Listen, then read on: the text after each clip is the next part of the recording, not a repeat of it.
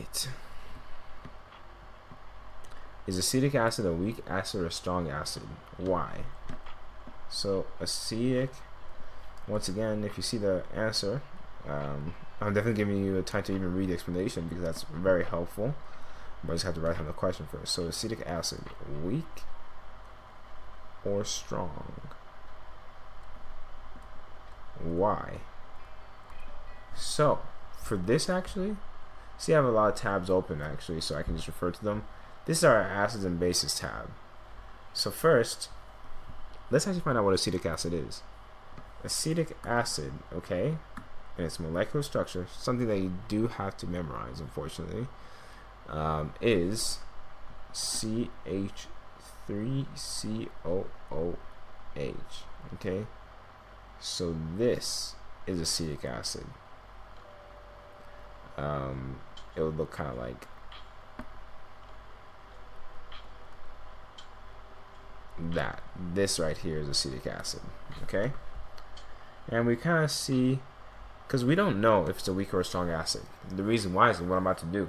Uh, once you find out, okay, this thing called Ka, which is the dissociation constant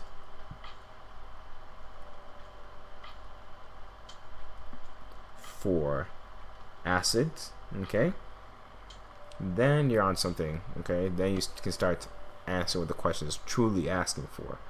So, with that being said, what does even dissociation constant means? It means when it's put in a solution, how much of it actually dissociates, forms into like, for example, with acetic acid, how much of it forms this in that. This right here is what the dissociation constant is doing. So in fact, if I to write down the whole equation, it would look like this. Okay?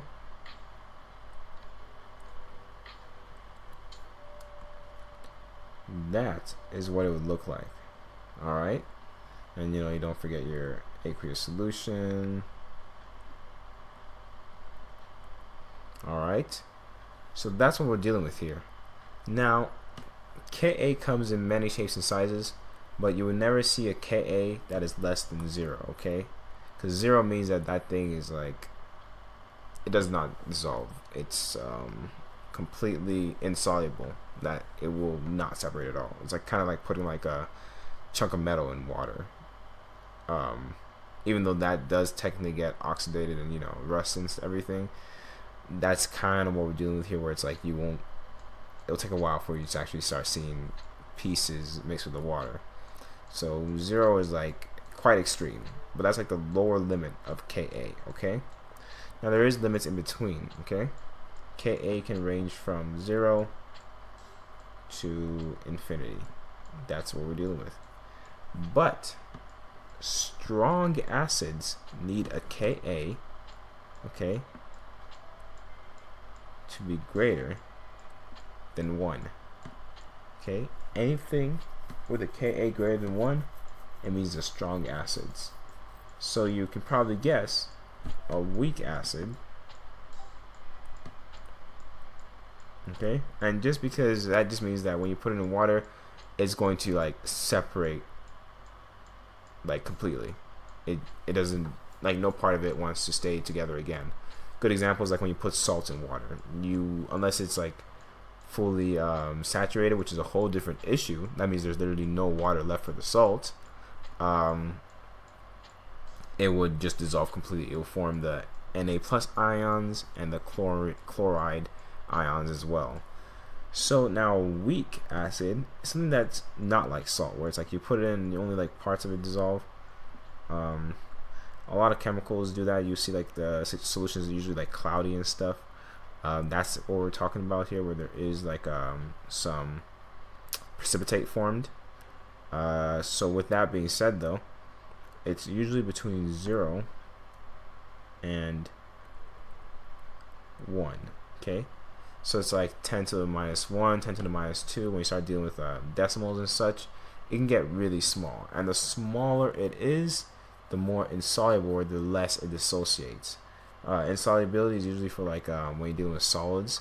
Uh, dissociation is when you're dealing with like aqueous uh, solutions like these, where it's like um, you start with you know the it's still liquid like acetic acid is still liquid but when it enters the forming acetate and high um, hydrogen ions that's where the issue is so now let's look at the table finally to see where acetic acid sits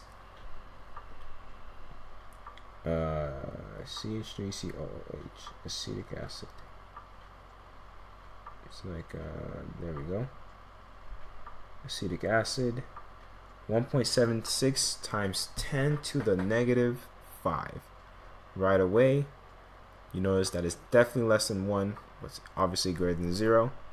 So, acetic acid, simply based on its dissociation constant Ka, is a weak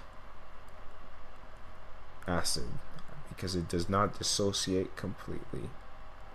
Example would be like uh, hydrochloric acid, HCl, strong acid.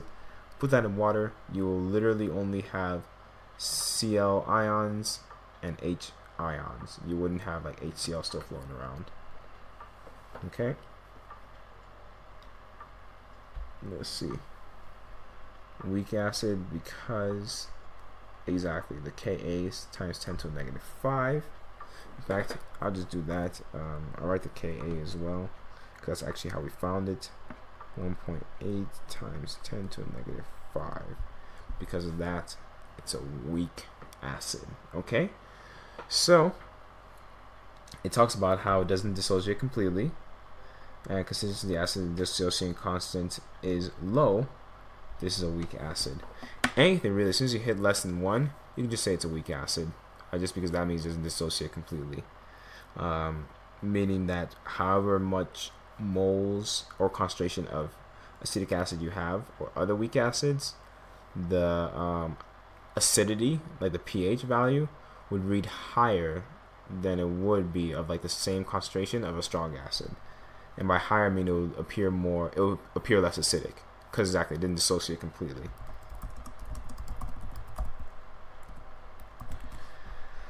Okay, so now let's move on to question 16 here.